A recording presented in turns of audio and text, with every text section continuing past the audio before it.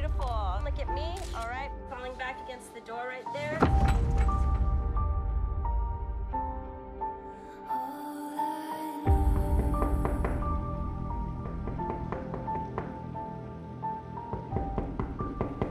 So you want to be an astronaut? I heard that you're good at math.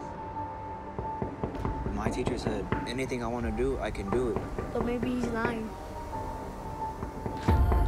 Some motherfucker that killed your brother.